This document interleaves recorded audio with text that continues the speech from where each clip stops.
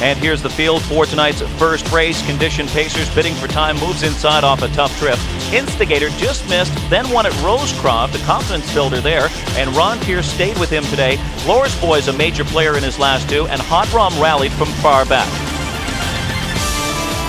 Boys from mid-pack heads out for the lead. Instigator sprints out and takes command to his inside. Dream Believer is hustling out of there. Room and board up close from the rail and bidding for time slides up. He's now racing in fourth onto the opening turn. Wildcat Fever caught just a bit wide early, pacing on sixth on the outside. Visa to his inside seventh. Hot Rum picks up cover and gets a tap with the whip there. Life is a Cabaret tracks the cover flow and Kodan came away last, trailing the field as Dream Believer powers to the front. Opening quarter up in 27 and 1. Instigator is second, and now Campbell makes his move with the favorite bidding for time. And bidding for time is coming quickly on the outside. He's second up and after Dream Believer now to take the lead. Room and board is further back. He's racing in fourth on the inside. Glorious Boys following in fifth. Sixth is Wildcat Fever. Visa about a length and a half further back, showing the whip from seventh. Eighth is Hot Rum. Then Life is a Cabaret. And Kodan is sluggish and can't keep pace. He's dropped out last, trailing the field. Glorious Boys tipped out and underway first first over the half at a wicked 53 and 3 with that backstretch tailwind. And picking up Glorious Boys cover is Wildcat Fever second over.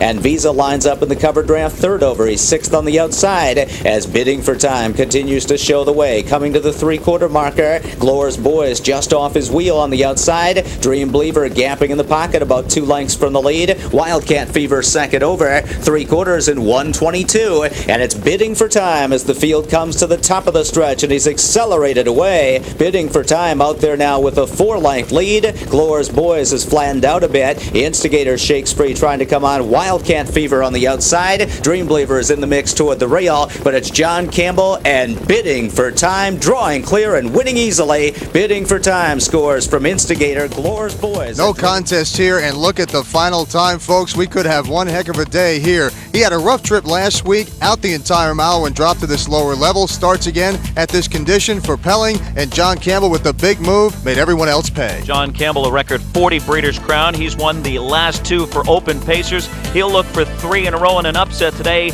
with Royal Majesty.